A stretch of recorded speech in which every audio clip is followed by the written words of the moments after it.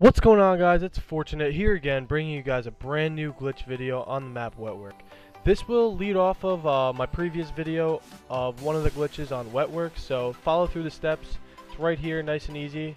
This glitch is brand new, like literally the first time ever posting it. I don't think anyone else has posted it on YouTube yet, so once you get to the second level, you're going to jump on top of this light, jump on top of this invisible barrier. Now what you're going to want to do here is follow the barrier around towards the outside of the map till it lets you walk towards the side. Now you're going to want to slowly fall down, and you should land on this ledge. Once you land on this ledge, you want to push yourself off a little bit, and if you do it correctly, you should land on a barrier outside of the map, floating in the water. This is a sick spot that no one else has found out yet, so if you do end up seeing this on YouTube somewhere, please, if you don't mind, give me credit.